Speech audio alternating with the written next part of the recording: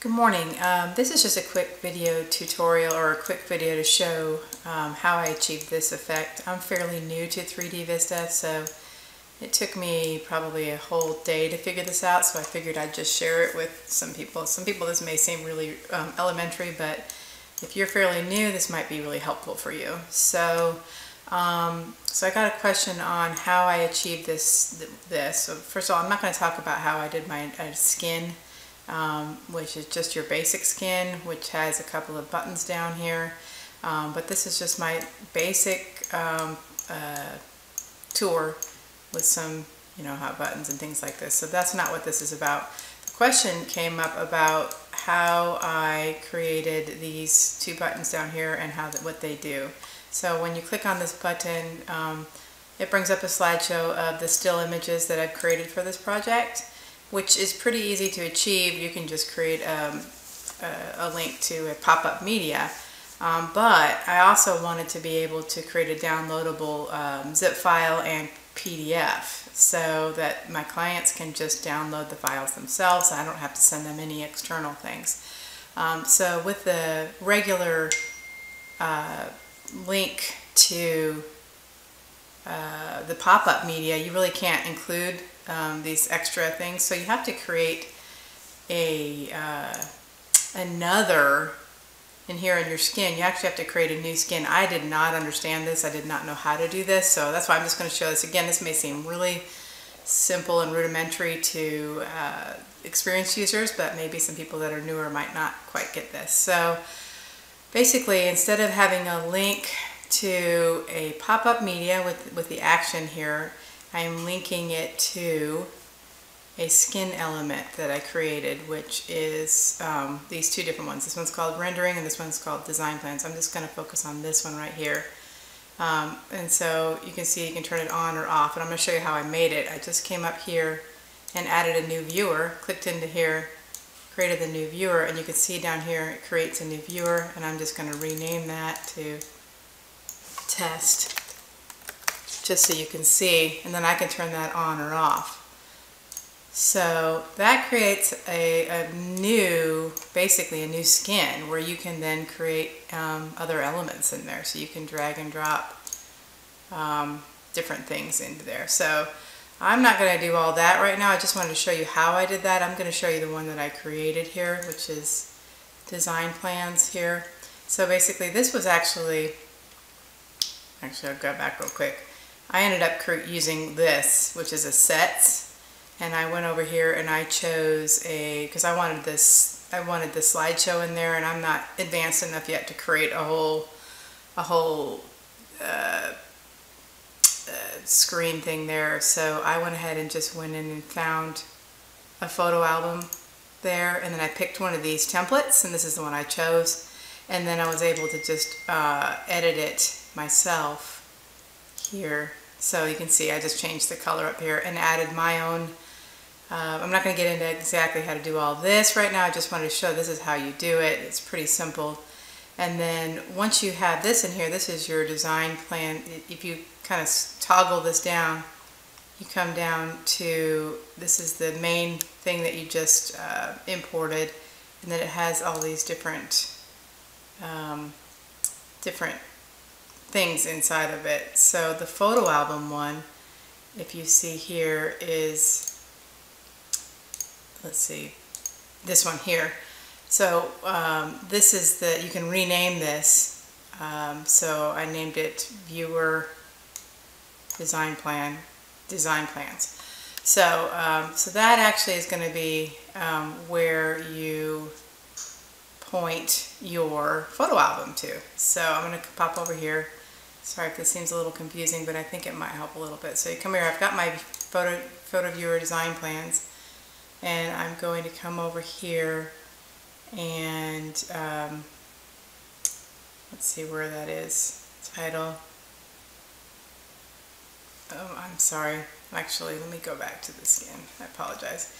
So this, um, if you go back into where was I? Design plans, toggle this down, global. Did this a few days ago, so I've already sort of forgotten how to do it.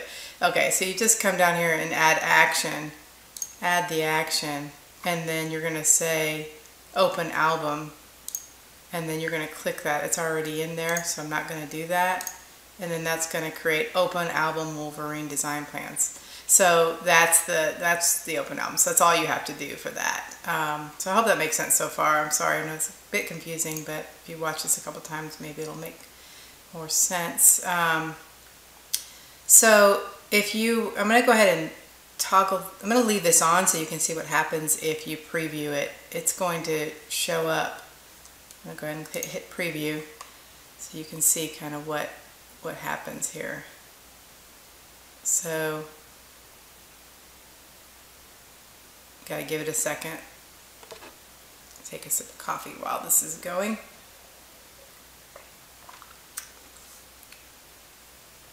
Okay, so once this pops up, oh, it's redoing all of my stuff. Sorry about that.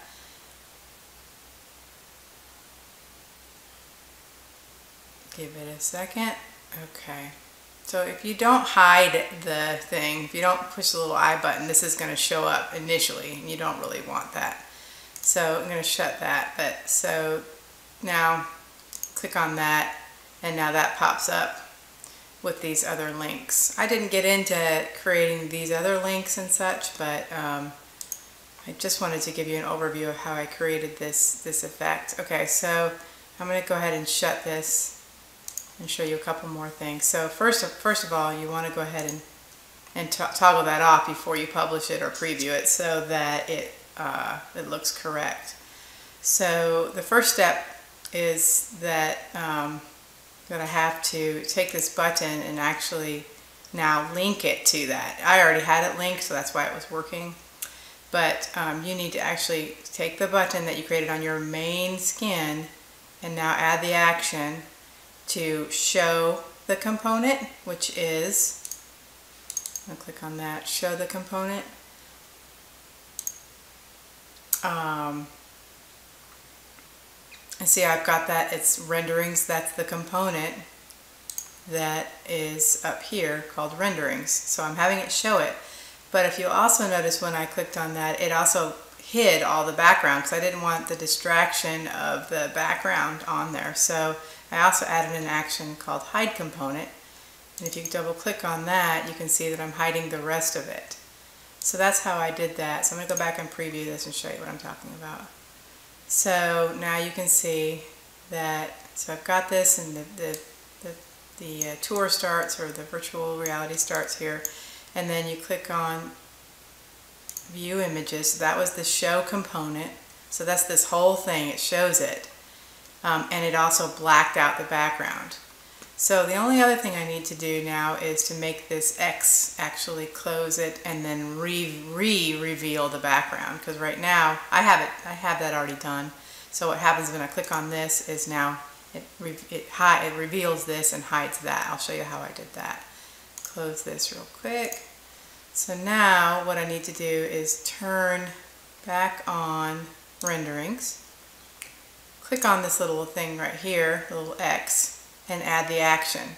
So the action is going to basically be similar to what we just did, except for this time we're going to say show components and we're going to show the main viewer, the global, whatever, whatever you want on your main, but not these other things. That's that test one we created earlier. So, and then the hide would be, you're going to hide renderings, which is this box.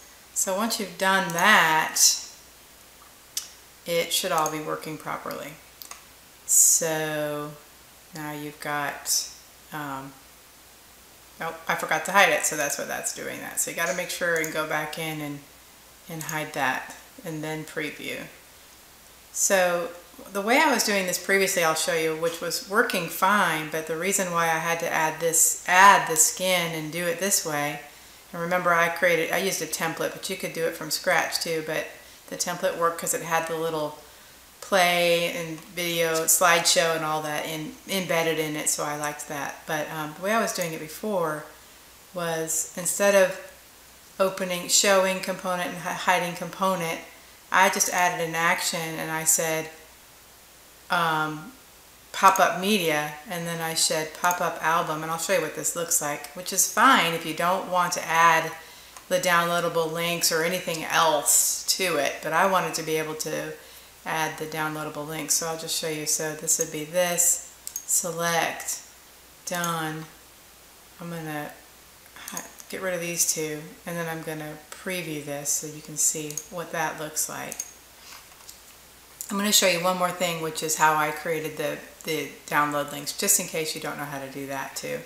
But see now if you come here and you clicked on this, oops, well, I wonder why that's not doing that. Hmm, that's interesting.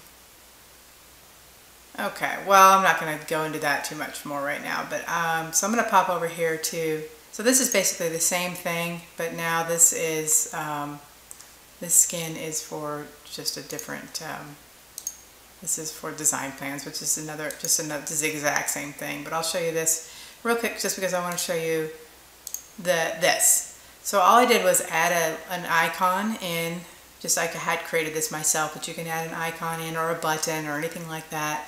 And I just added the action downloadable file, which is super easy. You just come in here and you see downloadable file. When you click on that, it um, allows you to pick your file. You can do a zip file, you can pick a PDF. Um, if you want to do all the images, you need to do a zip file, but this is a PDF look icon, so I went ahead and did that.